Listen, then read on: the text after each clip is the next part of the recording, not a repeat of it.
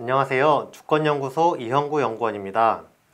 오늘 주권 칼럼은 박근혜 석방, 문재인 탄핵으로 가는 핵심 고리라는 제목으로 해보겠습니다. 보수 적폐 세력들은 박근혜가 탄핵당하고 유죄 판결을 받아 구속된 직후부터 줄곧 박근혜 석방을 주장해 왔습니다. 우리들은 적폐들이 광화문에서 박근혜 석방을 요구하는 대규모 집회를 연일 열어도 오히려 하루 이틀의 일도 아니기 때문에 박근혜 석방 주장을 범상치 않게 여기기도 합니다.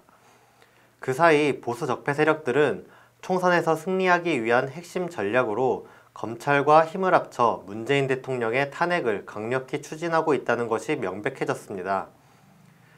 이번에 검찰이 울산 사건 공소장을 공개했는데 일본 자유한국당은 바로 울산 사건의 몸통이 문재인 대통령임이 드러나면 탄핵을 추진하겠다라는 식으로 어, 이야기하고 있는 것에서 드러나고 있습니다. 이렇게 문재인 대통령 탄핵 주장이 적폐들의 핵심 총선 전략임이 명백해진 이 상황에서 박근혜 석방 주장은 더 이상 가만히 앉아서 구경만 하고 있어서는 안될 심각한 도전이 되었다는 것을 말해줍니다. 첫 번째로 최근 커지는 박근혜 석방 주장입니다. 적폐 세력은 최근 박근혜 석방 주장을 눈에 띄게 많이 하고 있습니다. 황교안 자유한국당 대표는 1월 28일 국민이 바라는 것은 박근혜 전 대통령의 구금 상태가 계속되는 것이 아니다. 직접 문재인 대통령에게 이제는 선처가 필요하다. 국민의 통합이 필요한 때라고 여러 차례 이야기했다고 말했습니다. 그런데 황교안 대표의 이 말이 되게 번역투 같이 어색하게 들리지는 않습니까? 국민이 바라는 것은 박근혜 전 대통령의 구금 상태가 계속되는 것이 아니다. 보통 국민은 박근혜 전 대통령의 석방을 바란다. 이렇게 이야기하면 될 거를 이런 식으로 표현하는 게 되게 번역투 느낌이 아닌가라는 생각이 들었습니다. 이어서 김영호 자유한국당 공천관리위원장은 1월 27일 설 연휴를 맞아 박근혜 전 대통령의 석방 소식을 기다리고 있었다며 이분 지금 수감 생활이 3년이 돼가고 있다. 해도 해도 너무한다. 라고 호소했습니다. 이왕구 전 국무총리도 3년 어, 동안 고통 속에서 지내는 박근혜 전 대통령 석방이 서둘러 이루어지길 고대한다. 라고 했고, 유승민은 박근혜 전 대통령이 겪고 있는 고초에 대해 인간적으로 너무나 가슴이 아프다고 사면을 촉구했습니다. 그동안 성조기 부대들이 광화문 집회에서 박근혜 석방을 요구한 건 오래됐지만 국회에서 이렇게 박근혜 석방을 전면화하는 건 지난 4월 이후 10개월 만입니다. 두 번째, 박근혜 석방 요구의 목적 1. 보수 결집과 대중 기반 확대 적폐들은 박근혜의 불쌍함을 집중적으로 선전하고 있습니다. 박근혜 동정론이 박근혜 석방 요구의 주된 논리입니다.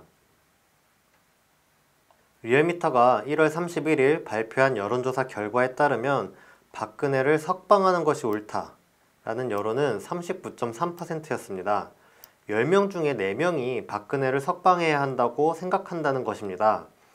박근혜 석방 지지 여론 39.3%는 같은 기관 리얼미터에서 2월 13일에 발표한 자유한국당 지지율 31.1%를 훨씬 웃도는 수치입니다. 그러니까 자유한국당을 지지하는 사람보다 박근혜를 석방하는 것이 옳다라고 생각하는 사람이 더 많다는 겁니다. 이렇게 박근혜 동정론이 퍼지면 적폐 세력에게는 지지율을 끌어올릴 수 있는 대중 기반이 넓어지게 됩니다. 또한 적폐 세력들은 박근혜 석방을 거세게 주장하면 보수 지지자들의 투표율을 결집시킬 수 있습니다. 뿐만 아니라 적폐 세력들은 박근혜 석방 주장을 강하게 할수록 여러 당으로 나뉘어진 보수 세력을 단결시킬 수 있습니다. 보수 세력은 현재 통합을 추진하고 있으면서도 단결을 이루지 못해 혼잡한 상황이죠.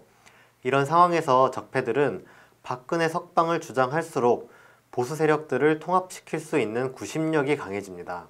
요약하면 적폐들이 박근혜 석방을 주장함으로써 대중 기반을 확대하고 보수 세력을 단결시키며 보수의 투표율을 끌어올리는 일석삼조의 효과를 이뤄낼 수 있는 것입니다.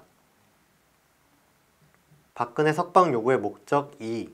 문재인 대통령 탄핵으로 가는 핵심 고리. 적폐 세력들에게 박근혜 석방은 단지 박근혜가 구속 생활을 오래 해서 불쌍했는데 풀려나서 다행이다 라는 의미를 뛰어넘습니다. 적폐들은 반드시 박근혜 석방을 탄핵이 부당했다는 주장으로 연결할 것입니다. 박근혜는 잘못이 없는데 마녀 재판으로 탄핵되었으며 이렇게 오랫동안 구속해온 문재인 정부가 잘못했다는 것입니다. 문재인 정부는 촛불로 적폐인 박근혜를 탄핵하고 탄생한 정부이기 때문에 박근혜 탄핵이 부당하다는 인식이 퍼지면 정부의 정당성을 위협받습니다. 그렇기 때문에 적폐들이 박근혜 석방에 성공하면 구속해야 할 것은 박근혜가 아니라 문재인 대통령이라는 역 탄핵 여론을 본격적으로 퍼뜨리기에 매우 유리한 환경을 얻게 됩니다. 문재인 대통령 탄핵 여론을 조성하는 데서 주요한 역할을 하고 있는 집단은 다름 아닌 검찰이죠. 윤석열 검찰은 청와대가 하명 수사를 통해 선거에 개입했다는 주장으로 여론을 어느 정도 설득시켰습니다. 윤석열 검찰이 탄핵의 근거를 만드는데 성공한 것입니다. 이에 안철수를 비롯해 진보에 탈을 쓰고 있던 사람들, 뭐 임미리, 진중권 이런 사람들이죠. 이런 사람들이 문재인 대통령 공격에 나서고 있습니다. 이게 국민이 보기에는 문재인 대통령 탄핵 여론이 보수 진영 내부를 벗어나 외형적으로 확대되고 있다라고 보이게 됩니다. 검찰이 청와대의 숨통을 조여오는 상황에서 박근혜가 석방된다면 적폐 세력은 기세가 올라 문재인 대통령 탄핵을 거세게 밀어붙일 것입니다.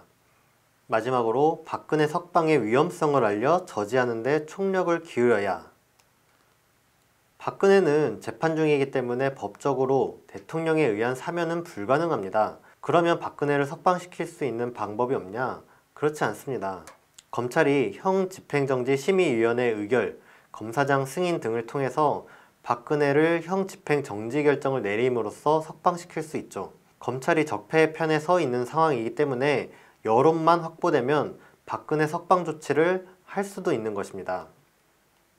적폐들은 검찰을 앞세워 청와대를 압박하는 동시에 박근혜 동정론을 퍼뜨려 병보석을 명분으로 박근혜 석방을 시도할 것입니다. 적폐 세력들은 3.1절에 특별 사면을 하라는 여론전에 나섰습니다. 3.1절에는 대규모 보수 집회도 열릴 예정입니다. 적폐 세력들은 여론전에서 이겨 박근혜 석방에 성공하면 문재인 대통령 탄핵을 전면화하는 계기로 적극 활용할 것입니다. 따라서 진보 민주 세력은 적폐 세력들의 박근혜 석방 주장을 가볍게 대해서는 안 되며 박근혜 석방의 위험성을 알리는데 온 힘을 기울여야 합니다. 박근혜를 석방하면 안 된다는 여론이 박근혜를 석방하자는 여론을 완전히 압도해야 합니다. 그렇게 해서 국민의 힘으로 박근혜 석방을 외치는 적폐 세력들을 저지합시다. 오늘 주권 칼럼은 여기까지 하겠습니다. 감사합니다.